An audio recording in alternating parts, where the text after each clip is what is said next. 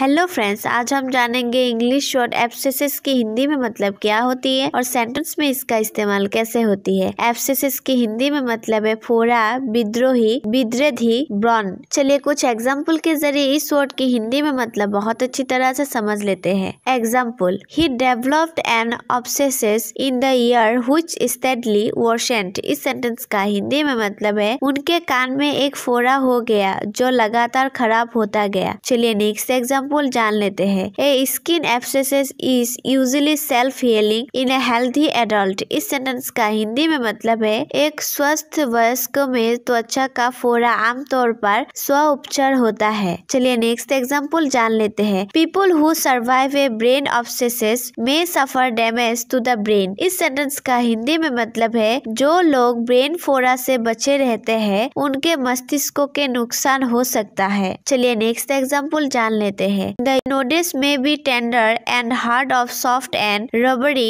if an abscess has formed इस sentence का हिंदी में मतलब है यदि फोरा बन गया है तो नोटिस निविदा और कठोर या नरम और रबर हो सकते हैं सो फ्रेंड्स उम्मीद करती हूँ एफसेसिस की हिंदी में मतलब क्या होती है और सेंटेंस में इसका इस्तेमाल कैसे होती है वो अच्छी तरह से समझ गए होंगे इसी तरह से और भी इंग्लिश और हिंदी में एग्जाम्पल के साथ जानने के लिए हमारे इस चैनल के होम पेज में जाकर चेकआउट कर कर सकते हैं वीडियो अच्छी लगी तो लाइक करें और साथ साथ चैनल को सब्सक्राइब कर दीजिएगा